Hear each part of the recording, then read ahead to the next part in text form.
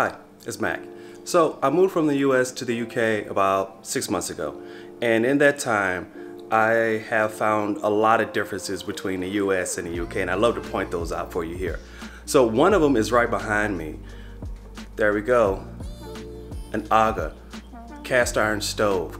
This always on. This is really unique.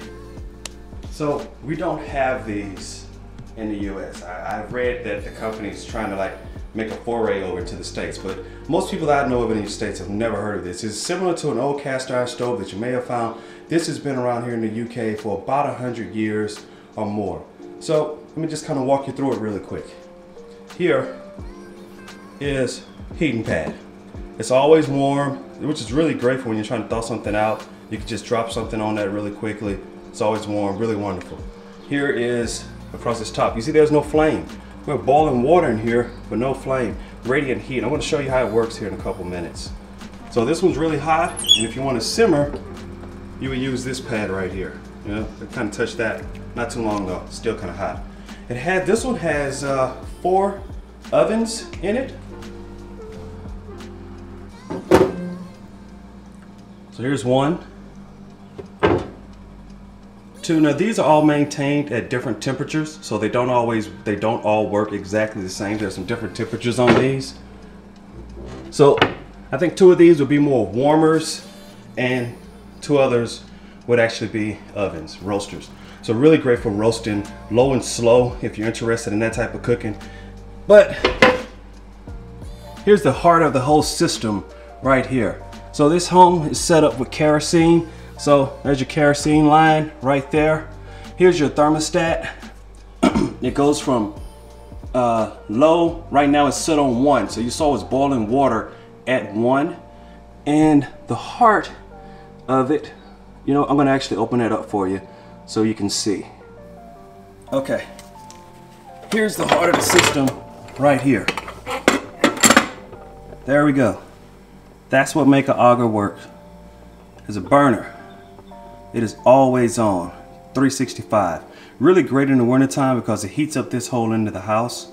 Uh, we had this one serviced just a couple days ago. It's producing a lot of heat. So that's how an Aga works. If you think about uh, your hot water tanks, if you have a gas hot water tank, this is kind of that same principle.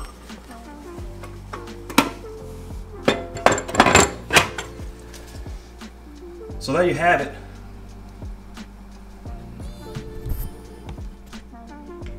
So there you have him sitting on the floor here in front of the Aga. We use this to, uh, to cook quite a bit. Um, boil water on it, of course. We haven't tried to bake in it yet. We haven't done any roast, so we haven't done anything big. We have a conventional uh, stove here as well, which we've been using that. But now that, that we've gotten the Aga serviced, I think we're gonna spend a bit more time. I love cast iron cooking, so I think we're gonna spend a bit more time seeing what I can do here low and slow. Definitely get a couple roasts going. Um, see what else we could cook on this as well. So there's a lot of things you could do with it. You could cook, you could use it for heating. I've also heard that you could you could use it to dry some of your clothes on those little, not what they're made for, but people have been known to hang their hang their clothes on those and let them kind of air dry. So it's really a wonderful thing. You don't have these in the US, not often. Uh, this is cast iron. It is very expensive. I believe it was put in when the home was built. Uh, right now, they probably run about uh, 1300 to 20 thousand pounds. I'm sorry, 13, 13,000 to 20,000 pounds, which uh, transferring it back to USD, rough approximation. I'll look it up and put it on the screen for you. But yeah, so you can get these uh, put in if you have a British country home, an American country home, but it'll be very expensive for you. This one was in the place here already and it works really wonderful. We're really kind of glad we have it, especially in the winter time when it's cold. In the summer, we'll probably turn it down low but uh, we're gonna let it chug along. So this is a classic AGA, means it always is always on. The, the, the company, AGA, now makes different models that you can turn on and turn off at different times, but this one is one of those that's always on. It's, uh, and so you have to think about that when you're considering your, your energy bill. Uh, we have to get um, gas deli all delivered here on a pretty regular basis. So you have to definitely think about this is burning oil. You saw that flame in there. So this is going to be burning all the time. It also heats this side of the home. And the UK really is much cooler than the United States in my opinion. Uh, my experience has been that it's pretty cool here. We'll see what the summer is like. I got here in the fall. So in the fall through the winter, I've been grateful to have this Aga here. We'll see what it's like in the middle of the summer.